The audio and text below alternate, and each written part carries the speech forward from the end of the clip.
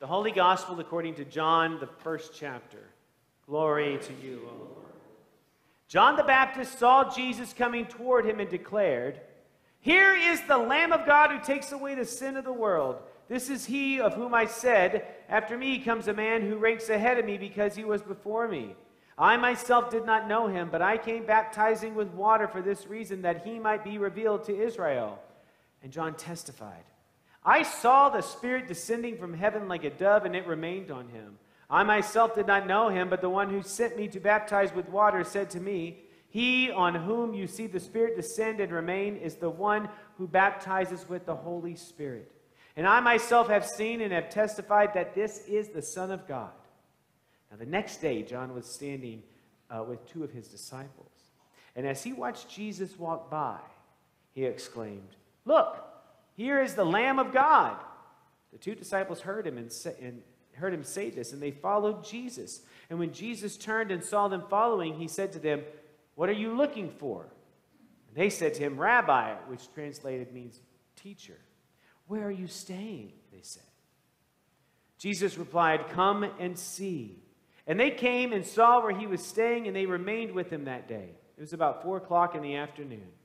One of the two who heard John speak and followed him was Andrew, Simon Peter's brother. He first found his brother Simon and said to him, We have found the Messiah, which is translated anointed.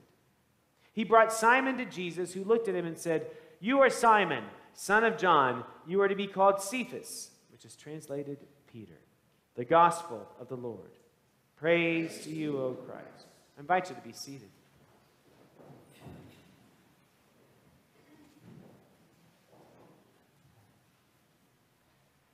When I was a kid, I had a job. I was about 12 or 13 years old, and I would mow lawns. My dad gave me a gas can and a lawnmower, and he says, Go make some money. And I walked door to door asking neighbors if I could mow their lawn, and they were very lovely and nice and let me do it. And I'm sure it was perfect. Um, but I took tapes with me and my little tape deck and my earphones so I could listen to music as I was mowing lawns. And I didn't have an extensive tape collection, but I had one tape that I'd love to listen to, and it was a tape of U2, and on it was this song 40. And as I was mowing the lawn, I would be mowing, and all of a sudden that song, it was on the B side. The song would come on, and I would stop and turn the mower off and rewind the tape and press play again and keep mowing. And then when it would end, I would stop and I would rewind the tape. And then I finally made a mixtape. You remember those? Right? Yeah. I made a mixtape and I had I, I, put it like four times in a row, so that way I didn't have to stop when I was mowing. I loved that song. I thought it was just fantastic. If you've never heard it, go listen to it. I think it's on the War album on the B side, U2's 40. So weeks later, I'm at church, and I'm not really paying attention as a kid would do at age 12 or 13.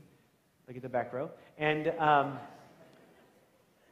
so uh, all of a sudden, somebody's reading lessons and they start reading Psalm 40. And I'm like, oh, can you believe it? Oh my gosh, they stole Bono's song. and then I have what Pastor Heather explained last week was an aha moment, an epiphany, when I realized oh, they wrote a song based on the Bible. How cool is that? I was so excited to learn that. A song took on more meaning for me. So let's read Psalm 40. Take out your Bibles and turn to page 446. This is the psalm that's appointed for today in our gospel, uh, in, our, in our worship service. And I asked uh, Shelby, it's not included in the, in the lessons, so we could actually read it back and forth. It's Psalm 40, and we're going to do this old school responsorially by half verse. So if you don't know what that means, here's how it works.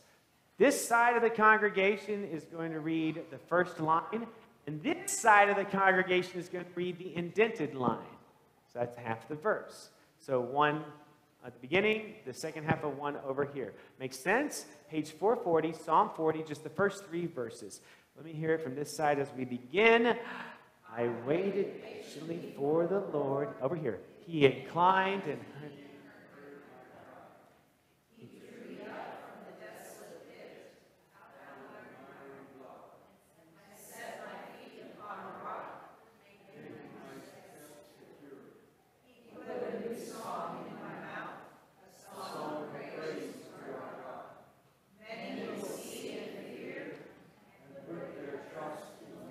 This is a powerful song. It's a great song too, but this is a powerful song about being delivered. That somebody is stuck in an old way of thinking, an old way of doing things. They're stuck. Their feet are like attached to the ground, sunken in the clay, in the mud, in the muck, in the mire, and they are lifted up out of it. You can almost see the mud and the clay kind of dripping off their feet, and they're placed on a secure footing, something that is very foundational, where they feel very secure, and a song is placed in their heart. And it is so magnificent that when they sing it, others find God and put their trust in the Lord. It's a very powerful song. And it became influential in even how I became a pastor. When I was in college, um, I, I, was really worried about what I was going to do with my life. It was, it was close to graduation, and um, I was, uh, had been a youth minister a couple of times over summers and thought, I don't know if I'm really prepared for ministry or not. I don't know if I want to do that. Plus, I was failing theology. So it didn't really make sense. Uh, but I was failing it so bad that uh, our, my professor, Norm Beck, God love him, uh, if he ever watches this, he'll, he'll giggle, I hope. But um, he's still teaching there. And um, he was so gracious because he said, Steve, you're failing. Your final was terrible. Retake it. He gave me every single test I took and said, Go and do this again. Take your Bible, take your notes, take your friends' notes, and go, go take this again. I was so thankful that I got to do that. So there I am at Texas Lutheran. I'm sitting outside the chapel, which happens to be named the Chapel of the Abiding Presence. Sound familiar? And I'm underneath this tree, and I have all my books laid out in front of me, and I'm studying, and I'm just so worried because if I fail, what am I going to do? I'm going to have to come back. Oh my gosh, I need a job. What am I going to, what, what am I going to do? I don't know what to do. And all of a sudden, the wind starts blowing, and my Bible pages start flipping back and forth, back and forth, back and forth, back and forth. And I slam my hand down to stop it, and my finger is on Psalm 40.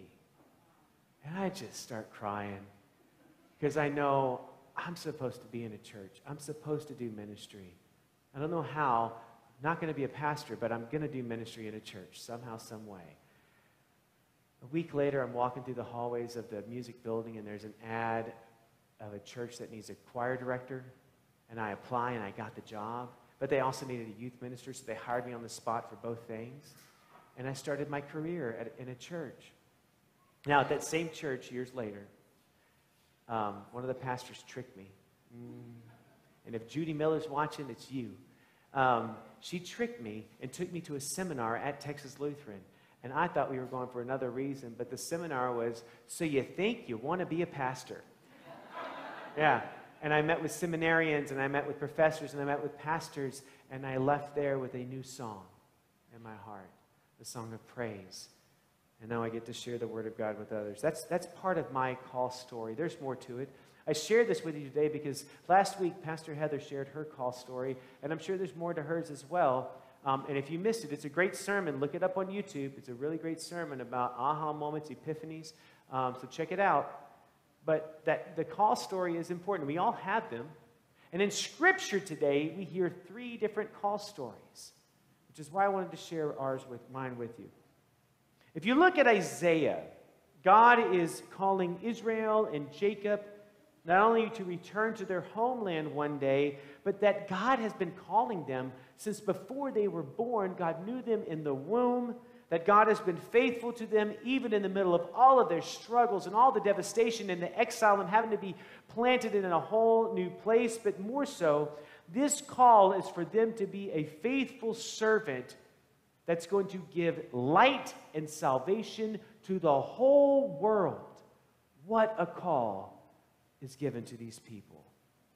Paul is writing to the people of Corinth today. And the people of Corinth are, are having a hard time. They're only seeking their own will. They're only looking for their own way. They're only looking out for themselves. They're suing each other. They're not allowing to eat with each other. There's all kinds of complications happening. And Paul is calling them to return to this baptismal call, to return to what God has asked of them. And at the center of 1 Corinthians is chapter 13, the love chapter. We have all had it at our weddings, right? The love chapter. But it's not about romantic love, it's not about brotherly love. It's about God's love, agape love, sacrificial love. And that's at the center of everything they're supposed to do. So Paul's calling them to return to fellowship, to return to community, to come back together. and to embrace God's love when we do so. Let everything you do be done out of love. In our gospel today, Jesus calls his first disciples. John the Baptist sees Jesus and said, There he is. That's the Lamb of God. And, and some of his disciples start to follow Jesus. And they walk up behind him, and Jesus turns around and says, What are you looking for? And they, and they reply, Where are you staying? So Jesus says, Come and see. Now, this little interchange is pretty important. That word staying has a lot of different meanings. It could mean enduring, it could mean living, but in the context of today's lesson, it means abiding. Sound familiar? Abiding.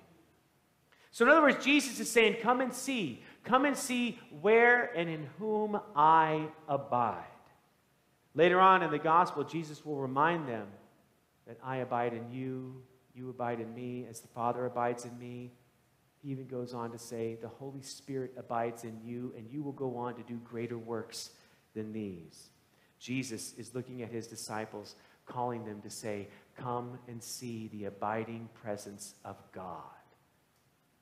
So this begs the question what is God calling us to? What is God calling abiding presence to be and to do? Over the past few months, we've had listening sessions. We've had a group of people, a listening team, that interviewed the staff, and they interviewed the council, and they interviewed leaders. And then we all got together as a congregation and had listening sessions where we got to share what we think is God is calling us to be and to do in the world. And right now, that report is available for you. Look in your Friday email. If you didn't get it, come see me afterwards. We'll print one out for you. But what is the call that's being placed on the heart of abiding presence? Maybe God's calling us to be like Isaiah, to be that light, to be, to be the servant that brings light and salvation to all people, because we're already doing that in a lot of really neat ways. Like today, we're going to Haven for Hope. And we're bringing coffee and cookies in the courtyard, giving a little bit of home to people that are longing for one. We build ramps for people that are in homes that want to be able to leave and go out into the world and share in God's grace and glory. We're also going to be tomorrow marching with others for justice and peace in all the world. That's part of our baptismal call. But what else? Jesus says, Come and see. Abide in me. Maybe God's calling us to be like the people of Corinth, to do everything that we can as a response of the love of God in Christ Jesus. And we already do this in a lot of really neat ways too, as well.